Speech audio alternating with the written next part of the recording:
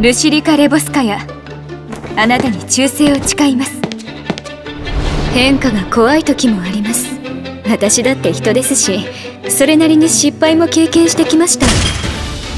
ただ立ち止まっていては意味がないと他の人より早く気づいただけです。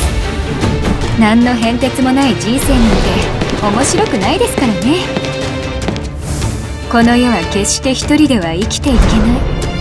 だからこそ他人との調和が必要なんです。